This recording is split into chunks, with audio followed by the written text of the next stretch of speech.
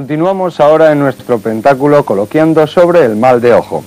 Vamos a saludar y a dar la bienvenida a nuestros contertulios. Esther Valle, buenas noches. Hola, buenas noches. Chema Roldán, buenas noches. Buenas noches. Israel Alonso, muy buenas noches. Buenas noches. Y César Urroz, buenas noches. Buenas noches. Hemos estado hablando con Esther anteriormente en la primera parte del programa sobre el mal de ojo.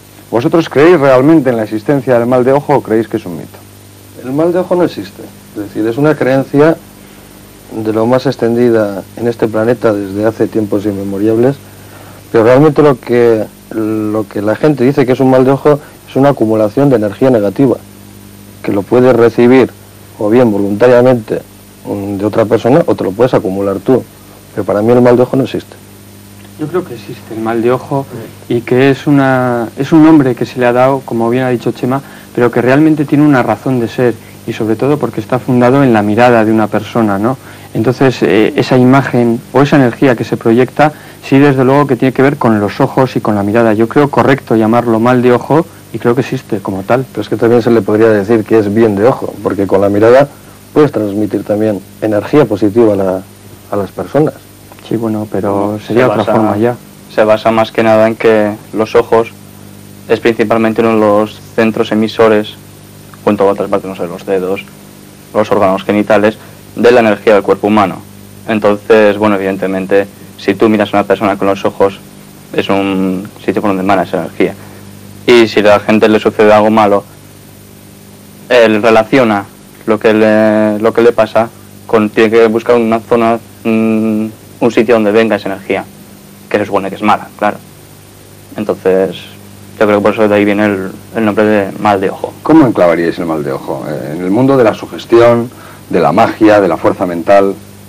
Para mí es eh, sugestión en un, en un 100%. La sugestión no solo de la persona que emite ese mal de ojo, sino del que lo recibe. Yo creo que un mal de ojo funciona porque eh, la persona sabe que está teniendo ese mal de ojo. Es decir, para mí, que una persona sepa que está recibiendo un mal de ojo hace que ese funcione. Si una persona no lo sabe, para mí que funcionaría a niveles muy bajos. No, no estoy de acuerdo. Hay personas que realmente no saben que tienen ese mal de ojo y realmente están eh, llevando a, a la nada, se están destruyendo totalmente y esa persona no sabe que tiene mal de ojo. O sea, que esa persona no sabe que tiene mal de ojo y, y se está destrozando. Entonces, ¿cómo va a saber? eh, eh, lo que está haciendo ahora mismo es absurdo.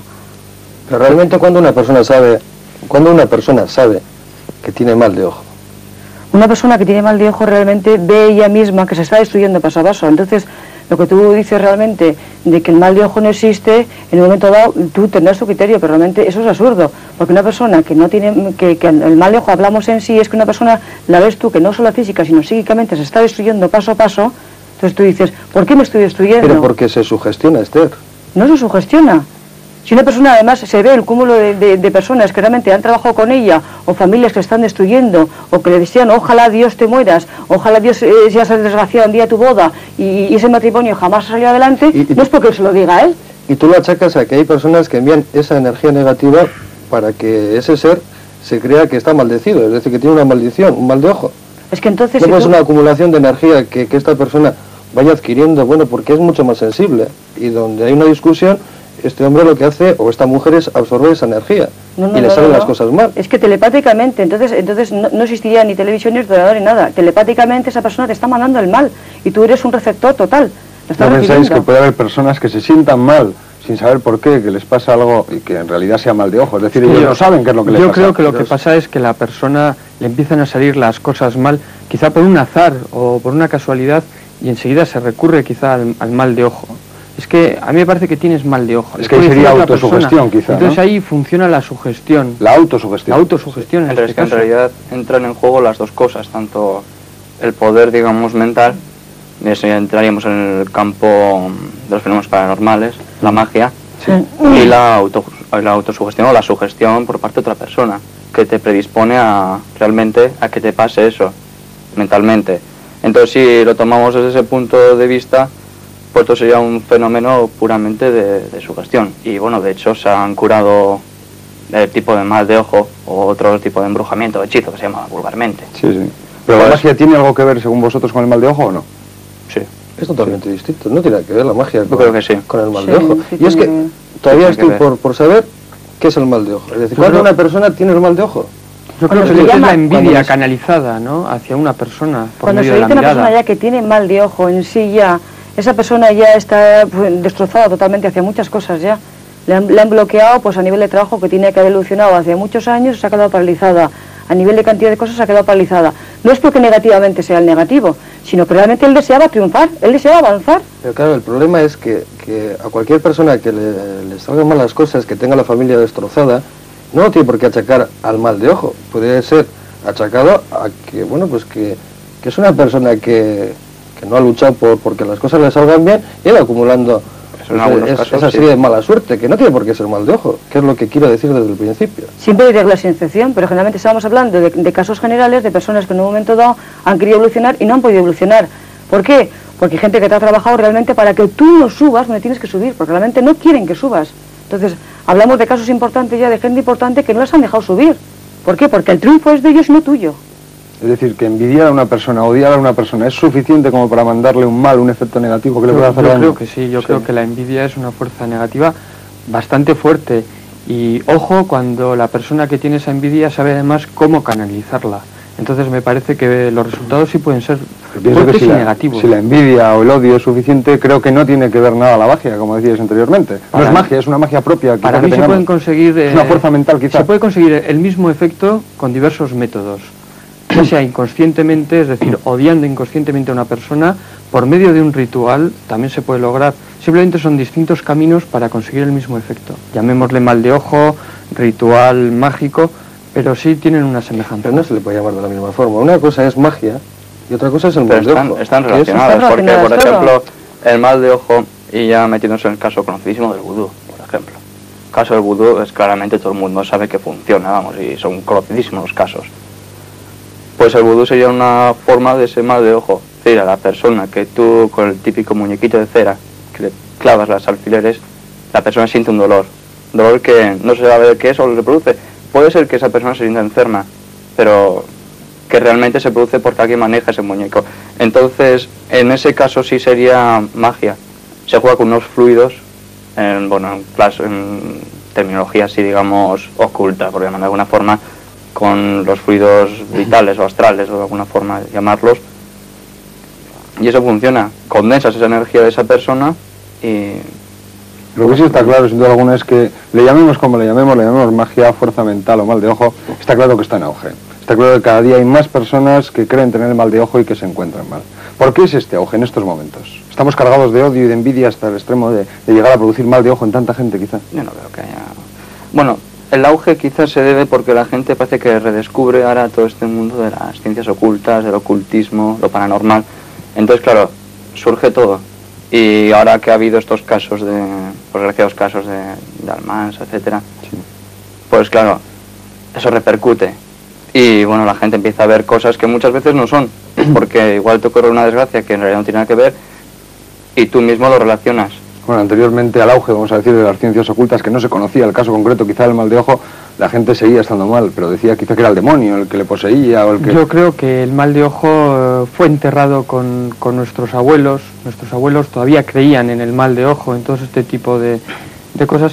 Y ha saltado una generación y parece ser que ahora otra vez se vuelve a creer en el mal de ojo y se potencia.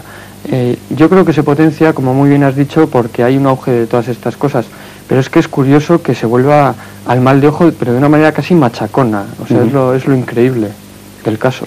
Para mí no existe auge, vamos, para mí no existe mal de ojo, es decir, existe lo que dice Israel, existe un auge del ocultismo y bueno, y meten el mal de ojo como, como lo que he oído hasta ahora en este momento, que todo lo que es energía negativa es mal de ojo. Vudú, magia, aquí hay una serie de mezclas entre la magia, el vudú y, y, bueno. Y lo que, lo que veo es que la gente no se da cuenta de que hay otras cosas que le perjudican mucho más que una superstición que es para mí el mal de ojo. Es decir, le perjudica pues el, el tema económico tal como está hoy en día la sociedad. Te perjudica que la relación matrimonial pues cada vez van peor. Es decir, ¿te crees que se ha convertido en un tema obsesivo? Hombre, claro, demasiado es obsesivo. sugestión, Pero lo totalmente considera- lo- sugestión. yo no lo considero superstición, No. como has dicho. Yo creo que hay una base, una base, no vamos a llamarla científica, pero sí de alguna manera comprobable hasta cierto punto y para mí no es superstición en ningún caso. Vamos a ponernos en un caso concreto. Si vosotros sabéis, o alguien os dice, que tenéis el mal de ojo, ¿cómo reaccionaríais? Bueno, eh, yo personalmente Y lo que recomiendo a todo el mundo es sencillamente, digamos, una especie, una especie de autosugestión, convencerte a ti mismo de que eso no es así. Y yo creo que, bueno, es que también hay muchos rituales, pero que básicamente tienen la función de autoconcienciarte, convencerte a ti mismo, autosugestionarte de que eso no es así. Es decir, que crees que con tu propia fuerza mental eres eh, lo suficiente fuerte para librarte de un mal de ojo. Sí.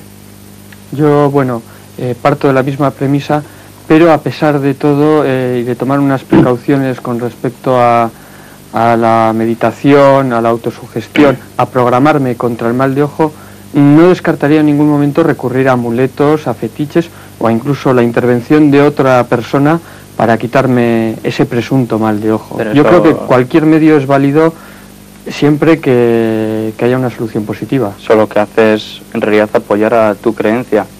Tu mente se apoya en esos amuletos y realmente se potencia tu mente. Claro, pero hay que tener en cuenta que igual gente no sabe desarrollar ese potencial de alguna manera y necesita ayuda. Pero es muy sencillo, es decir, eh, una limpieza energética, no sé, Esther igual sabe un poquito más que yo de este tema, pero creo que limpiar la energía negativa, yo creo que es muy sencillo. Eh, No sé, luego en, en espacios como hágalo usted mismo, me imagino que, que en este programa se verán las formas de quitar Sí, hoy en concreto, Esther nos enseñará cómo librarnos del mal de ojo. Hay formas sencillas, perdona Mitchell, como la de, la de ducharte, y mientras te estás duchando, mentalmente estás pensando que te estás limpiando de esa energía negativa, y funciona. Es decir, yo lo que digo es que estáis seguros que vosotros sois lo suficientemente fuertes como para libraros del mal de ojo sin ninguna ayuda externa.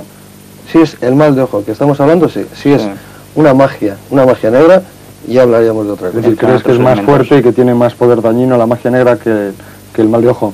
Lógicamente es que en el mal de ojo no creo. Es Sí. Es creo que que el yo mal de creo ojo es el es- principio de la magia negra. Creo que es más fuerte quizá la magia negra es un porque ingrediente la magia negra, la eh, el mal de ojo igual entra dentro del campo de la brujería en frontera con la magia. Quizá la magia eh, como tal tenga más fuerza.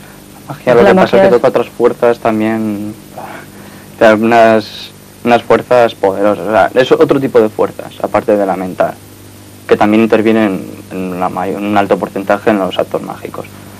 Pero no cabe duda que, que bueno, Con varias de las cosas que habéis comentado, amuletos, talismanes, limpiezas, hemos llegado un poco a un tema un poco clave, que es también el negocio que algunas personas pueden hacer con el mal de ojo. Es decir, cualquier persona que se encuentre mal se le puede decir, eh, pues bueno, tienes el mal de ojo, te voy a cobrar 30.000 pesetas y te voy a hacer un amuleto, un talismán.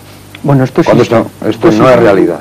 Esto no es realidad, Esther, que ocurra. Es decir, que no es realidad que simplemente con un amuleto, un talismán, que le cobre a una persona 30.000 pesetas se pueda quitar el mal de ojo. Eso es Hay personas que cobran mucho. Yo jamás he cobrado por nada y jamás me gusta ir vender nada. ¿Vosotros creéis en la efectividad de esos amuletos, de esos cuernos, de esos talismanes? Bueno, es que habría o que unidos dejar- a la fuerza mental, pero no en solitario. Yo creo que los amuletos, los talismanes, eh, siempre que estén cargados con fuerzas positivas y por una persona que entienda y que ponga un poquito de su energía en el, en el amuleto, en el talismán, tienen que ser efectivos. Pero eso no vale 30.000 pesetas, No, ni por 50.000, supuesto, por ni supuesto. 100.000 pesetas que se están cobrando. Ni, to- ni Es todos los diagnósticos de mal de ojo que hace gente eh, son ciertos porque buscan precisamente cobrar esas 30.000 pesetas. O sea, Ojo. pero hay que diferenciar el grano de la paja. Es decir, no todo el mundo hace Por supuesto, eso. por supuesto. Y, hay- y bueno, el hecho de que una persona no cobre es síntoma de que, bueno, de que hay una honradez por medio. Eso hay que dejarlo bien claro también. Yo supongo que a habrán llegado quizá casos también de otras personas que, que, bueno, que se encontraban mal, han ido donde alguien y le han dicho, bueno, pues ponte esto, son 30.000. Sí, flores o noches. hierbas o cosas. Yo incluso las cruces que tiene, pues las cargo de energía, les hago una oración para ellas y jamás, jamás, jamás en la vida, ni me gusta vender las cruces y alguna vez las tengo es para regalarlas y jamás, jamás cobraré por hacer algo bien a los demás. Eso nunca. Pero, hay que dejar bien claro que hay negocio eh, con este Sí, tema. sí, sí. hay un negocio inmenso. Pero es que Sí, sí, eh, sí. ha- habrá negocio como todas las personas, entonces tú has dicho que no crees, entonces hay personas que creemos, entonces eh, si hay personas positivas Mira. o negativas, habrá personas positivas que realmente estamos evolucionando hacia esa luz que tiene que llegar a los demás. Entonces hay personas que cobran, hay personas que no cobramos Hay nada. uno de los motivos por el cual, incluso, ya es que eh, no creo, sino que me parece que, que- que se desorbita todo, es que por quitar un mal de ojo, que realmente es una acumulación de energía negativa, que lo vuelvo a repetir, están cobrando pero cantidades inmensas. Es que no lo quitan además, ¿eh? no lo quitan. Porque uno de los preceptos herméticos que hay, la verdad del secreto hermético, pues precisamente una de las cosas que se prohíbe es el, el afán de lucro, vamos. Se persigue totalmente. Nuestro tiempo se ha terminado. Yo espero que nuestros amigos hayan podido aclararse un poco dentro de este mundo del mal de ojo. No es necesario pagar grandes sumas de dinero para librarse del mal de ojo. Hay gente que trabaja sencillamente y en la sombra sin tener que cobrar tanto dinero. Y esto va un poco por un montón de cartas que estamos recibiendo sobre estos temas.